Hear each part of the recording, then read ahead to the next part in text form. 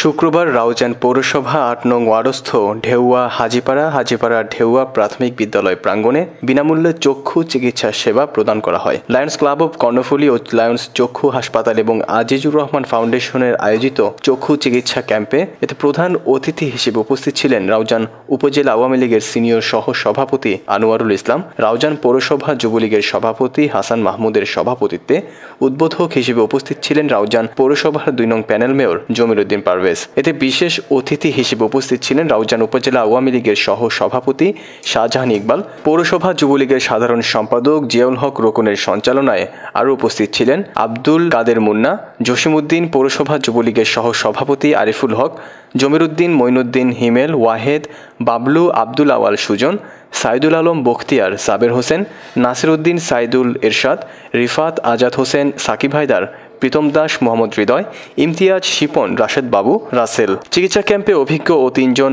চিকিৎসক দ্বারা প্রায় তিনশো পঞ্চাশ জন রোগীকে চিকিৎসা সেবা প্রদান করা হয় এবং ঔষধ ও চশমা বিতরণ করা হয়।